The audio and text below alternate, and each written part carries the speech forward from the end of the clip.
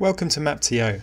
I'll walk you through all of the main features and at the end of this video I'll give you a quick preview of some of what we've got coming next in the tool. So the heart of the product is this visualization of your organization in nested circles.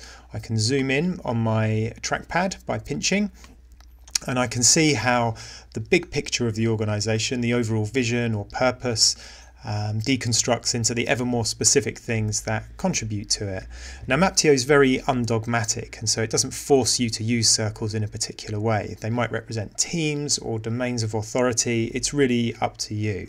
Now if I click on a circle, like developing the technology here, this panel will open and show me what that circle's all about.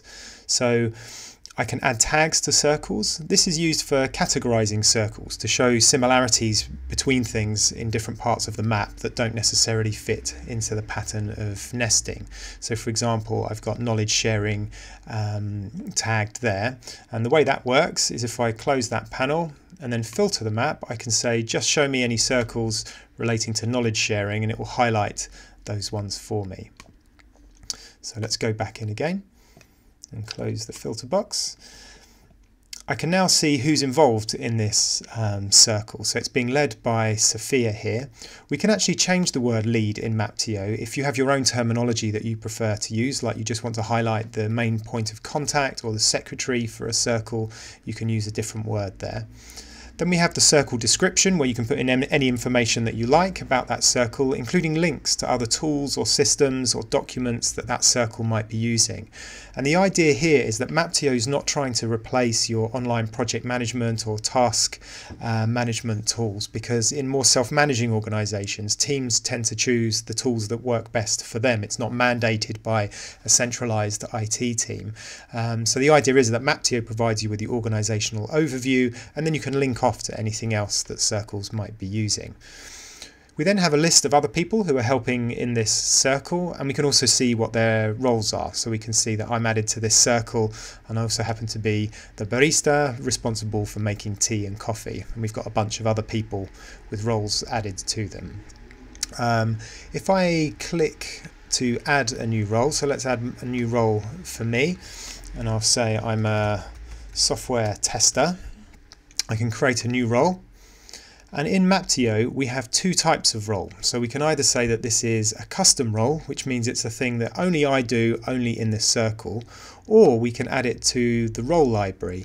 And the role library means that multiple people in the organization can hold the same role.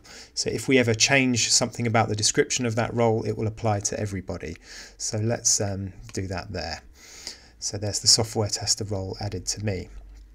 Now, if we want to edit the map, I can open up this panel here and let's close this one out of the way. So now I can see a list of all of the circles in the organization and the pattern of nesting shows which circles are subcircles of higher level ones. If we want to add a new circle to the map, it's as simple as just clicking the button to add a new subcircle. Um, so let's add a subcircle here called quality assurance.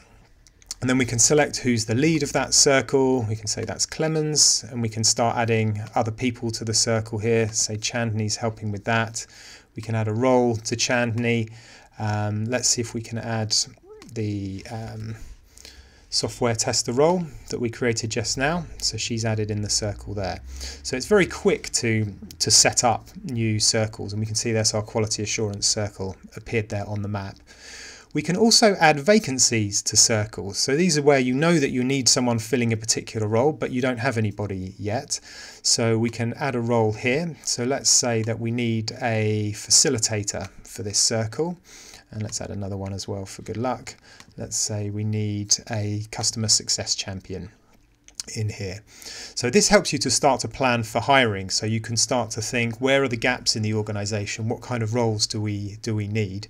And then when you're ready to hire, you can see if you can package any of those up into a into a job ad and bring a new person on board.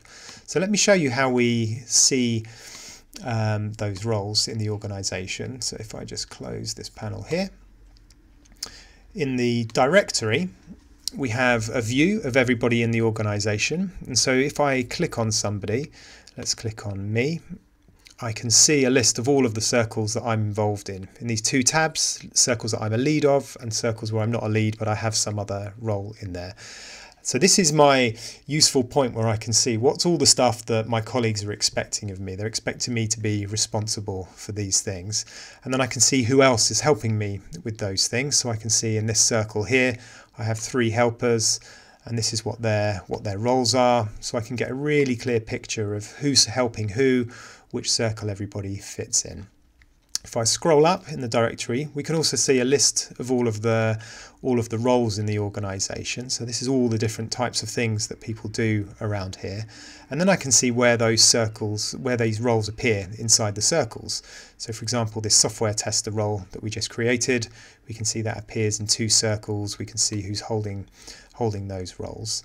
And then finally, we can click on the vacancies and see where is it that we need more people. And so we can see here that the customer success champion is um, a vacancy in these two circles there. So that's what you would normally use when you're figuring out who you're going to hire for. Um, so that's the directory view. We also have a network view of the organization. So in addition to the, the hierarchical breakdown of the circles, because people appear in multiple places on the map, sometimes as a lead, sometimes as a contributor, that same data forms a network which we can view here.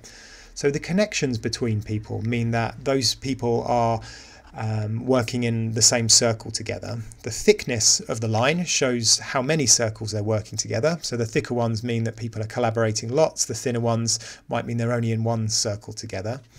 If we want, we can change the view and see what direction the collaboration's going. So the arrow here is going between contributors and leads. So you can see that me here as the founder of the organization, I'm the lead of quite a few circles and various other people are contributors to that. But also the connections go in other directions as well. So there's something that Chanley's leading where I'm in a more of a supporting role there. So that's the network view. Um, if we go into the organization settings now, if I click up here, this is the list of everybody in the in the organization. We can import people here from a CSV file if you've got quite a few to add. Maptio easily supports um, in the low hundreds of people. We have two permission types in Maptio, standard users and admin users. For standard users, they can view all of the data in the organization, but they can't change anything, so it's read-only. And admin users can edit or delete anything at all on the, um, on the map. Um, what we recommend is just having a small number of admin users, and they can help protect the integrity of the map. We sometimes find that in a larger organization, if everybody's editing things, you'll find inconsistencies um, starting to emerge. So it's usually better to have a small number of people really responsible for the map integrity. Maptio lets you create more than one map for the same organization. So this is useful if you want to create more than one lens on your on your um, on your org. So if you wanted one view that's perhaps more of a functional breakdown of what everybody's doing and a different view of the organization that's more of a customer centric view, you can do that. Or if you wanted to play around with a new organizational structure before you start to, to roll it out, you can map it out and see how it looks, see if it makes sense. And you can have as many as you like for your organization. We can customize some of the terminology used in Maptio. So as I mentioned earlier, you can change the words lead and contributor to things that make sense more for your organization. We have a simple Slack integration as well that you can set up. So the Slack integration allows you to post a static picture of the circle map into a Slack channel of your of your choice. And we're, we're planning on doing a lot more in terms of Slack integration later. Um, so that is the organization settings. And so let me show you a little bit about what's coming up in Maptio. So this is the new version of Maptio that we're going to be rolling out this year. So as you'll see, we've really cleaned up the user interface. We've used actually Google Maps as our inspiration. So if this layout looks a bit familiar, that's, that's why. Um, we've also made it a bit more prominent to see who else is involved in circles other than just the lead on the, on the map. So we can see all of the people there. And now if I click on the map, it allows me to slowly zoom in and see ever more detail as I scroll through. So this is what's coming up as we finish polishing this. We'll be pushing this live to all of our customers this year. So if you'd like to, to try Maptio, all you need to do is head over to our website where you can click try Maptio for free. From there you can book a very quick onboarding call, usually at quite short notice, so usually for the next day, or if you're in a real hurry, just send us an email and we might be able to do it even quicker than that. And what we'll do is we'll just quickly walk you through the setup process and help you get going. It's the fastest way to do it and get productive inside Maptio. So that's everything. Hope that makes sense. And um, yeah, hope to see you on an onboarding call soon. Thanks very much.